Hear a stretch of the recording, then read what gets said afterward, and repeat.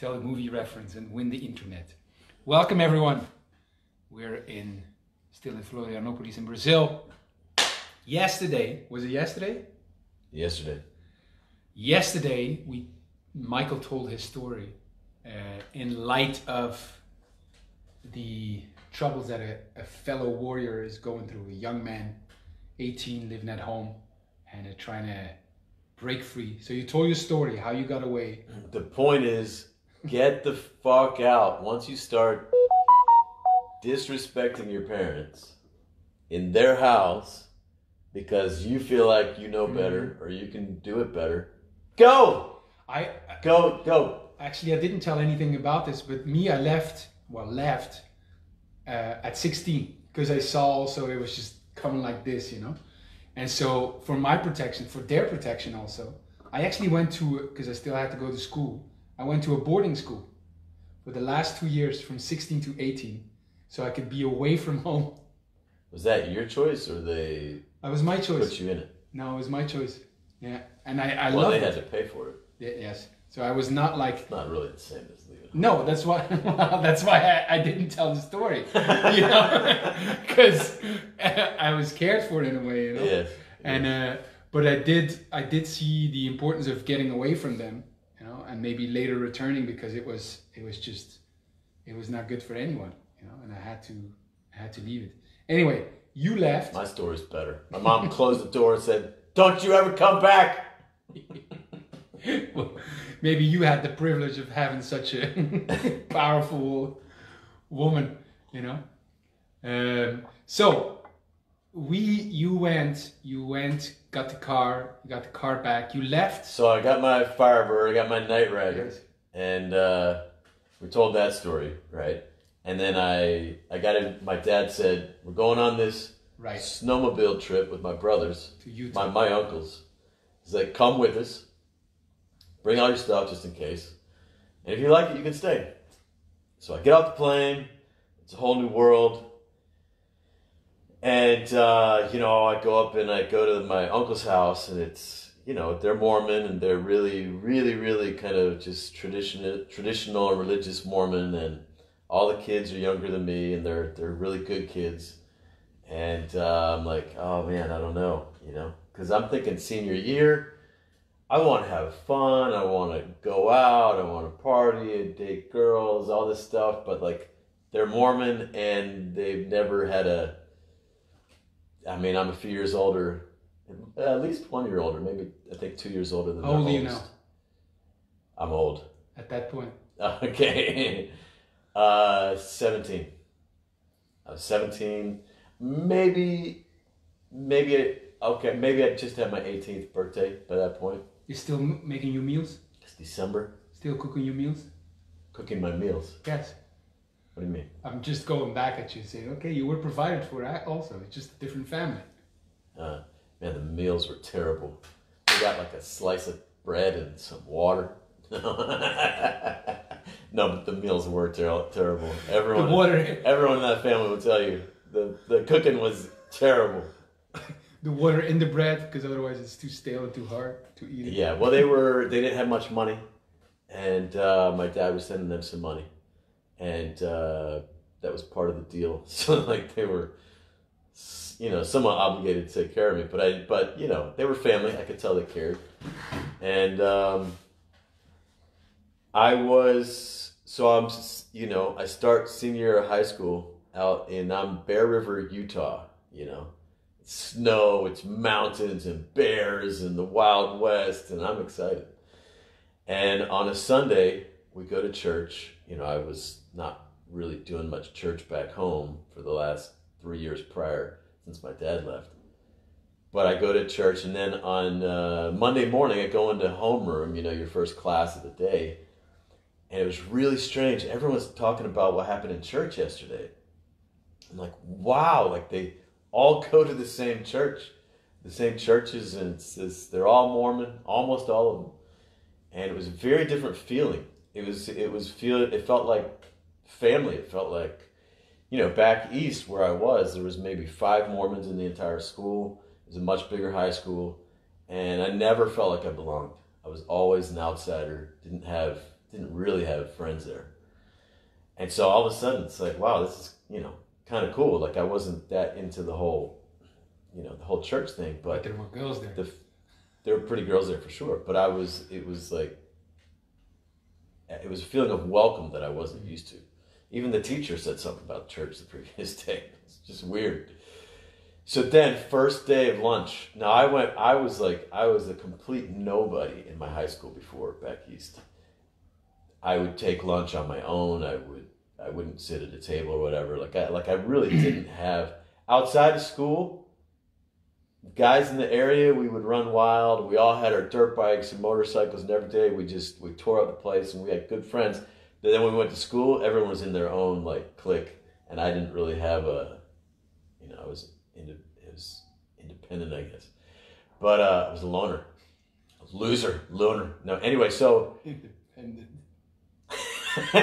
I, uh, I had already claimed my independence. by choice, yeah, but not your choice. Yes. and uh, you know, I really wasn't dating back home. I, you know, I, uh, I, yeah, maybe I'd gone out with a couple girls just very briefly, but so first day, first day of school, it's lunchtime, and I go, I buy lunch at the, the hot lunch tray at the thing, and I sit down at an empty table. Sit down. Next thing I know, the head cheerleader has come over. She's sitting directly across from me, followed by the entire female cheerleading squad, and they all want to meet the new kid from the East Coast. And I'm like, whoa.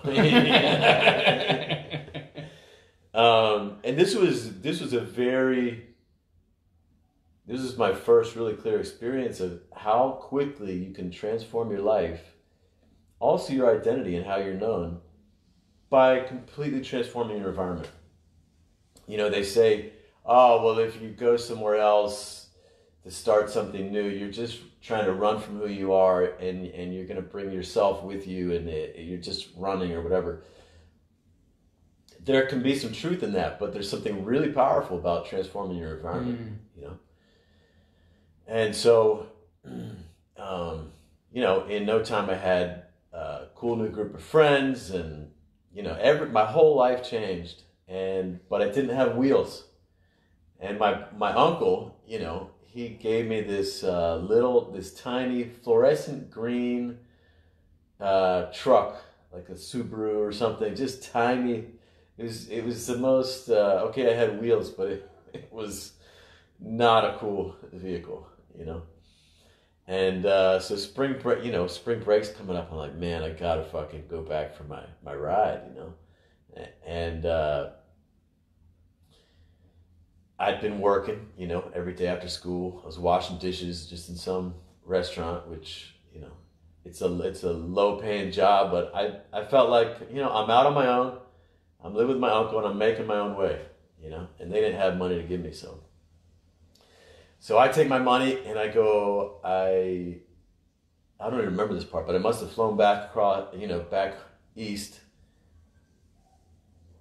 I would not have even talked to my mom or seen my siblings uh, because I was probably still at war with my mom on some level. The Hey. car was at your friend's place, no? The car was at my my dad's or some place. I don't know where it was in some lot or something. And uh, you know, and I went back. And, you know, I met my dad, and I told my dad, you know, I'm going to drive the car out. And he's like, Michael, I really don't think it's a good idea. And he's, I think he said I prayed about it. And I don't, I don't think it's a good idea. And um, I was like, well, sorry, Dad, but I got to do it, you know.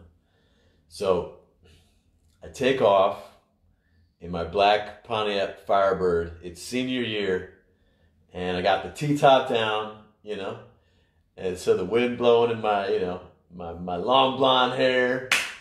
I got my, you know, the radio doesn't work, but I got a boombox. It's the '80s, man. It's '89. It's the beginning of '89. So I got a boombox with a couple of batteries, and I got an audio cassette tape with only two songs on it, and it was. Um, um, it was Joan Jett covering an ACDC song, Dirty Deeds Done Dirt Cheap. Dirty Deeds Done Dirt Cheap. And, uh, oh, what's the name of that other band? Because of the R, it's not the Rolling Stones, but it's, uh, oh no, Aerosmith, Aerosmith. And, uh, it was a song about coming in the back door.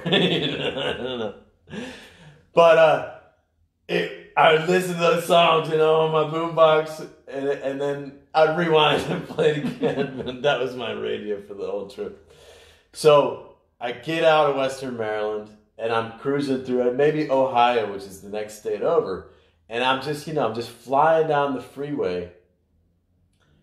And you know, girls pass, you know, passing girls in cars and whatever, and I'm, I'm just a free man. And it, it just hit me like in one of those next states. It's like, who says I have to go to Utah? you know what I mean? I was like, I'm free. I could get a job anywhere. I, I got some money. I've been working. I got my car. You know, it was this amazing feeling of freedom. But I kept on going. You know, I'd pull over on the side of the road to sleep at night. And this was the beginning of, like, I had many experiences of this at this point in time and then through my 20s. But, you know, tap, tap, tap, middle of the night, and it's a cop, you know. He's like, uh, yeah, what's going on here? You know, what are you doing? Sleeping, you know, harassed by the cops. Anyway, I make it to. Uh, are you allowed to do this in the States? You're allowed, no? Yeah. It's not uh, illegal or. Uh, there might be some places where you're not supposed to be sleeping, mm. you know, on the side of the road. But um, so I make it all the way back, and I think first day, you know, so I come pulling in to school, you know, with my new ride, looking cool, and uh, I don't know, first or second day, like I go out to check on my car, and and I think it was the first day, and there's footprints on my car from the front of the, someone just like walked in their dirty feet all across my car. I didn't know who did it, but you know, I remember smiling. It's like, yeah, you know, someone's jealous. And uh,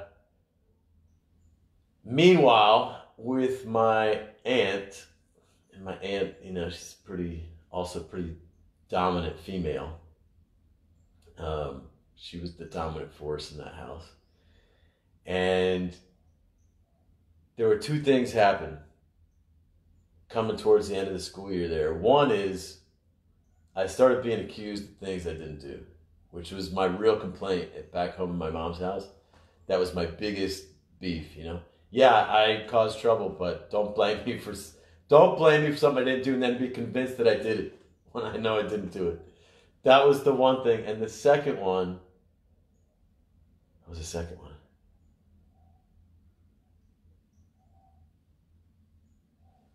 Oh, so I'm walking up the stairs one day and I can hear like they're talking about my mom. You know, okay, like I got my complaints about my mom, but don't be talking about my mom. And you know that that was yeah. So the two of those together, and I just was like, I'm out of here, and I took off in my car. So this is the beginning of tolerate nothing, right? For me, anyway. And I, and at this point, like I, I can. I got my wheels. I don't need to stay and put up with shit, you know. So I take off and I go. The, the last two weeks of high school, I'm living with my grandfather. I've told stories about my grandfather, but he's about he's over an hour south, maybe an hour and a half south. So now I'm driving an hour and a half into school every day, an hour and a half back.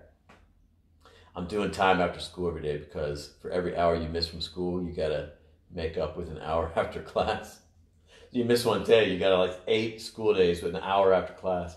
Anyway, I'm not going to graduate because I got too many hours to make up. Somehow they let me pass, and then graduation day comes. I show up. I got no family there. I think my I, I might have had two cousins in the stands. It was outdoor, you know, ceremony, but they, they weren't there for me. And uh, let's see what I want to tell here.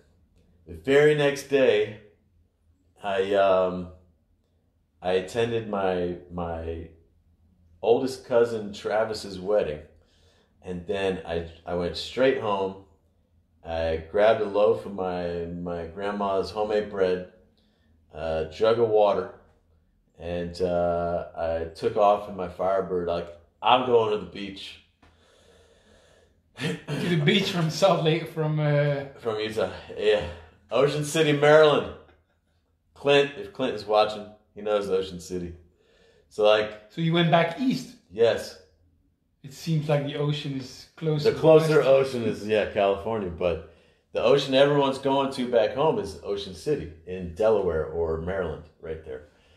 And um, so it's like beach or bust, and I got like barely enough money for gas to to make it. How long does that take? That takes.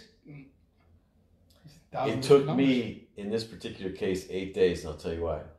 So I take off, I cross into Wyoming, and I get a I get a flat tire.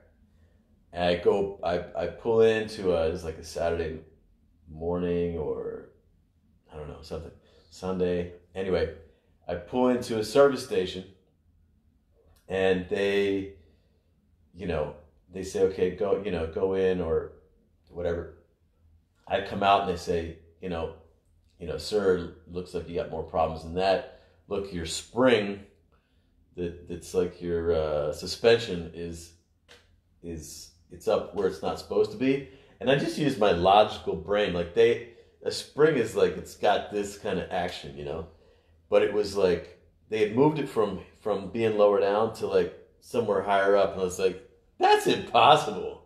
These motherfuckers fucking put it there and they're trying to charge me extra. So I was like, dude, put the thing, and I said, man, put it back where it goes. and they did. This is, I mean, I, you know, I, I look back on myself as a teenager and I think like naive Mormon kid, shy, whatever. But I kind of look, I, but like now I'm, I'm a bit older and I'm looking back and I was like, you know, I had some amount of balls. You know, I wasn't just totally, uh, because I because I remember for the longest time, into my twenties and and so on, I, I I just wanted to move so far away from the kid that I was, to be in something totally you know powerful and different. But all right, anyway, I blow money there on a tire, and now like money's running short. I got money for like one more tank of gas and I fill it up and I go. And I start having problems like with the, uh, same problems my mom had had in the car that led to it going off to that shop for a few years. It's electrical problems, so it's it's it's just stopping on me in the middle of the highway, and I got to pull over. I got I dealt with the cops for eight straight days. They're constantly pulling over. Yeah, what seems to be the problem here, you know, and. uh Eh, long story short, I had no way to. I, had, I ran out of money halfway home, and so I was stealing gas and food to get home to the beach. I'm not proud of it, but um, so like I'd I'd I'd roll into a gas station, and I would uh, you know put the thing in the tank, and I would pump the gas. I'd worked at a gas station before. I'd you know I'd I'd, I'd worked several jobs, so I knew how it worked. I, I knew that as soon as I hang up the pump, it's going to start beeping, and they'll look out the window to see who it is that needs to come and pay. So I go into the store, you know, put some things in my jacket or whatever to eat because I don't got no food, and then um, walk out and like you know maybe I'm going to go back and hang up the pump and then come back in and pay. But I'll just put the pump on the ground or I'd put it back on the thing, but like not in a way that's going to make the thing beep. And just kind of like make sure they're not looking, just pull off and just get the hell out of there. And uh, yeah, went straight to the beach. Man, the beach was that was amazing. It was, yeah, I was also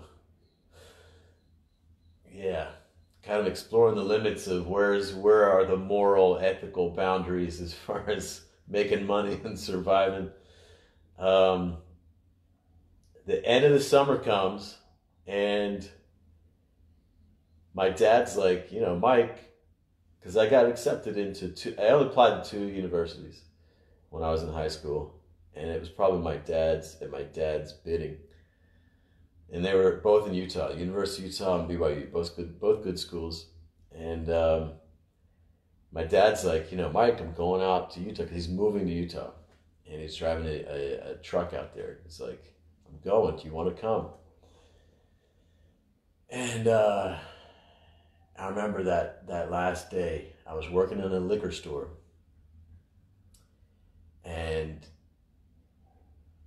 I, I, I kind of like had no place to sleep and stuff like this. And there was a hot girl at the liquor store who was working there, blonde, well endowed, and she's like, "You can, you know, you can go home and crash in my bed because I was getting off before her."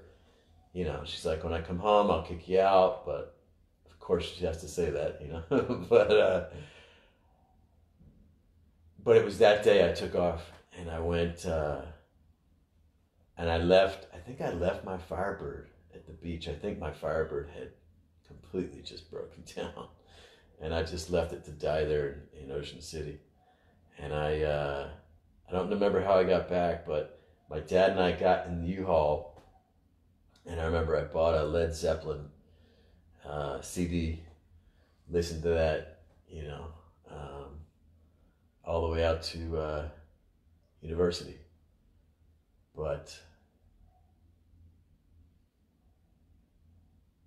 yeah, the point of the story we were talking about yesterday was if you're if you're 18, if you're starting to really butt heads with your parents, Clint says, senior week. Yes. Did you go to OC uh, Clint? Clint is from Maryland there. So uh, he knows he knows about OC. So yeah, I helped my dad drive his U-Haul out there, and then uh, I, I I went to the dorms in University of Utah.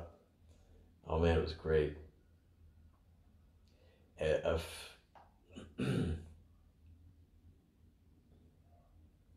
yeah, I could tell some more stories about standing up for yourself and tolerating nothing and all that, but yesterday we you know we just wanted to share some of this because we got a young 18 year old guy back in uh, California who's at home and he's he's disrespecting his dad and almost going to getting in fights with his dad. And we're like look, man, go claim your freedom. You know, take that anger you got, take not wanting to compromise, and uh, don't blame your dad. It's his house. He's paying for shit. He makes the rules. Don't disrespect your dad. If you want to claim your power and tolerate nothing, go, right? Like he could tolerate nothing and, and get into a fight with his dad, but, you know, more powerful to just go make your way on your own. Jump and figure it out on the way down. Yes. Yes. Story time over. Yes. Maybe Clint you can, says you could tell part three tomorrow. Clint says he ended up homeless and on the beach for a month. Yeah, that's more or less uh, more or less my story. Maybe it's his story because he says, "Did you go out there?" You That's said- yeah, he says that's yes, and then he says ended up homeless on the beach for a month. That's what I was assuming it was. I was saying that was more or less mine also. Clint, I uh, I got a job working at the um, they have like a an amusement park right there on the beach. So I got two jobs when I got there. And uh, you know, what I noticed was like the cool kids were like they were the locals, you know. They weren't tourists. So they were walking fast on the boardwalk, the cool kids, because they were like living there, you know. So I moved in with this this group of guys, and I got a, I got two jobs, and I got to walk fast, you know, down the boardwalk. And the job I got at the uh, amusement park was working in one of those booths where you you people compete for a prize and give them like a stuffed animal. so I can still remember. My job was basically like you see a couple walking by, a guy and a girl, you know, and he's got maybe a little stuffed animal for her. You know, my job was to give him shit like, hey, come over here and win your girlfriend a real prize. it's just funny thinking back about it because I think about myself at the time as being this shy kid, you know. But I was like, I was doing that. I was totally taking the piss, you know. And uh, man, I was kind of, I was just a little scam artist at the time, and I, you know, uh, they're paying me minimum wage, and I was, you know, I was hustling, hustling like half the cash for myself.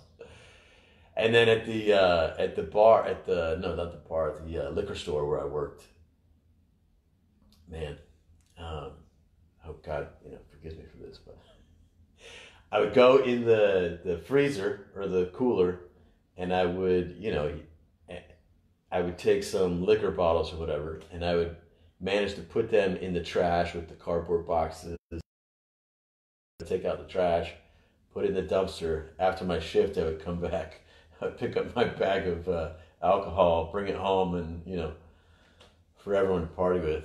But uh, yeah, man, good times, good times. Ocean City. Leave home, start your life of. Clint says, "I worked at that park for two days. Really? What? Uh, what were you doing? What were you doing at that park?" Oh man, you know I didn't have any real good friends at the beach either. Hmm. Yeah. All right. Good old days. More stories soon.